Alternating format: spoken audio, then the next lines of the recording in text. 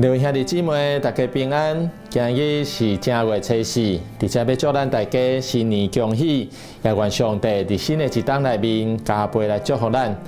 咱今日要做伙来看诗篇第五十篇。这首诗伊的小标题甲咱讲，这首诗是阿萨的诗。阿塞是圣殿内底负责音乐侍奉的一个人，伊角色就那亲像是今日的圣歌队共款，负责伫礼拜内面用诗歌来带领百姓做献祭和敬拜上帝。诗人伫这首诗的内面在提醒所有读的人，什么款的献祭才是上帝的所欢喜的？什么款的敬拜才是真实上帝所接纳的？诗人伊安尼讲。伊讲世间甲其中所有充满的，拢是上帝的，所以上帝伊并无欠缺人用动物来用伊献祭。上帝所仰望的是人通用感谢做祭来献予伊，也就是讲，伫咧敬拜上帝时，必须爱有感恩的心。咱通想象，伫圣殿内底伫服侍的阿萨。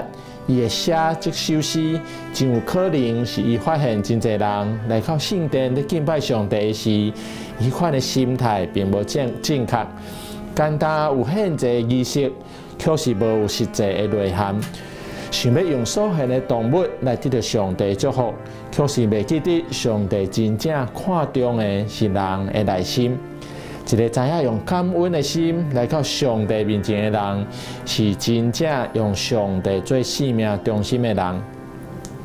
有一个故事安尼讲：有一日，上帝伊派两个天使来到这个世间，要收集人对上帝所讲的话，然后将这个话带转去到上帝遐。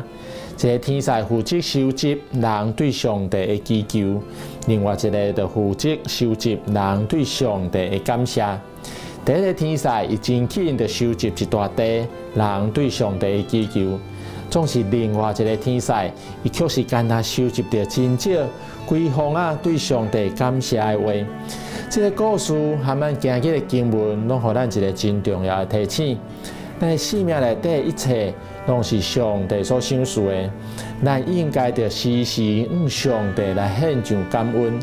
愿咱伫上帝面前服侍，拢会当真做伊所欢喜、伊所接纳的。